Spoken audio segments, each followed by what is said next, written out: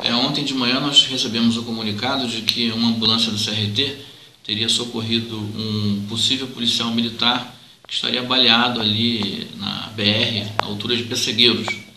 De imediato nós mandamos o nosso supervisor lá no HCT e numa conversa preliminar do supervisor com o baleado, verificamos que era um policial militar do HCPM, Hospital Central da Polícia Militar, que fica no bairro do Estácio, lá no Rio de Janeiro. Ele alegou que estava no Rei do Bacalhau, ali em Caxias, com um amigo, com um primo, e conheceu duas mulheres e veio trazer as mulheres em casa e retornando passou a moto e tentou assaltar e atirou contra ele. Nós achamos essa história muito estranha, porque se era primo, o amigo, como é que o amigo não, não ficou, não deu apoio, não deu assistência ao policial? Fizemos um contato com o socorrista da CRT, que chegou a ter contato com esse outro elemento que estava com ele, num Honda Civic prata, e orientou a procura PRF porque tinha, parece que também tinha marca de tiro no carro.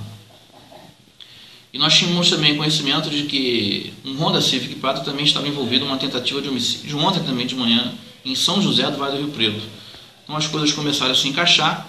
Na parte da tarde, esse elemento e, que tentaram contra a vida dele, de nome Aramis, que já é cliente antigo já da polícia, já foi preso várias vezes, envolvido com tráfico de droga, com roubo de carga. É, ele procurou os policiais do DPO que o conduziram para a delegacia e ele falou tudo o que aconteceu.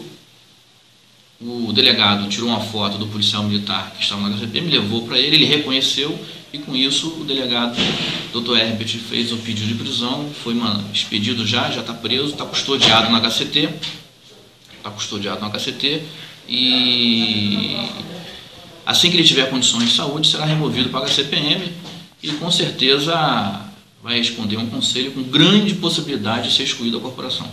Perfeito. O policial, então, envolvido nessa ocorrência em São José, ele não é do 30? Isso, foi boa pergunta sua, Misé. É bom esclarecer que o policial não é do 30 Batalhão. O policial não faz parte aqui do nosso efetivo. Ele é do HCPM, mora em Caxias e veio para cá para fazer essa besteira.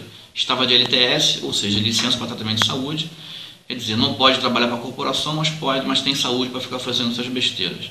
E é bom também frisar que não é esse o tipo de comportamento preceituado pela corporação. Policial é policial, bandido é bandido.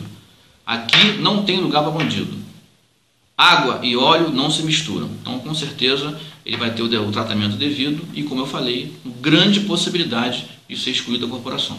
O policial, nesse momento, está sendo custodiado, né? depois segue para o Rio de Janeiro assim que for liberado do hospital, né? Sim, ontem já teve aqui um oficial do HCPM, é, já fez o médico do, do HCT, já fez contato com o médico do HCPM, parece que no momento ele não tem condição de ser removido, porque ele passou por uma cirurgia ontem, daqui uns três dias no máximo, assim que ele estiver melhor, ele vai ser removido para a HCPM será custodiado por lá e vai responder perante a Justiça Comum e também perante a Justiça aqui da caserna, onde com certeza vai responder um conceito de disciplina, como eu falei, com grande possibilidade de ser excluído da corporação.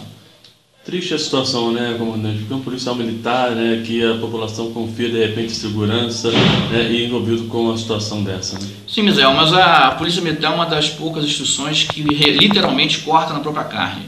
A gente todo ano expulsa, da, exclui do quadro efetivo da corporação vários policiais militares que apresentam desvio de conduta. É, não são esses os valores, como eu falei, que a corporação preza, não é isso que a gente passa para os policiais e aqueles que querem insistir nos desvio de conduta têm o seu devido tratamento e a exclusão da corporação.